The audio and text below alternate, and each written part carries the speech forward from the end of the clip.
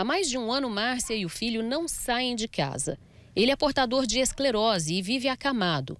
O problema de saúde dele foi incluído na relação dos grupos prioritários para vacinação. Mas quando chegou a vez do jovem, as doses acabaram. Pelo aplicativo, a menina já entrou umas três, quatro vezes, não, não conseguiu. Aí eu mandei recado para a agente de saúde, ela falou que ia conversar lá no postinho, não resolveu. A menina foi lá e conversou também, disse que não resolveu. Em Goiânia, a aplicação da primeira dose foi suspensa por falta de vacinas.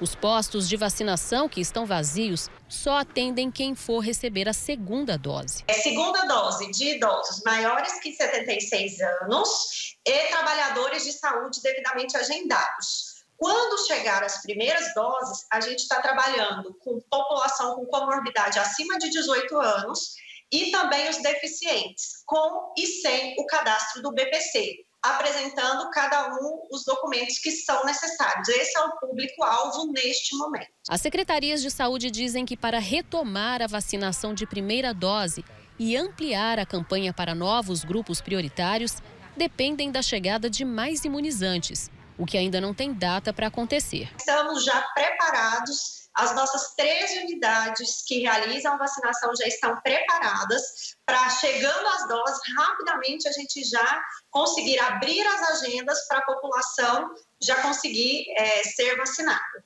Márcia não vê a hora de Marcos ser imunizado para ter pelo menos um pouco de qualidade de vida. Pelo menos ali fora, né? Porque aí a gente tem mais tranquilidade.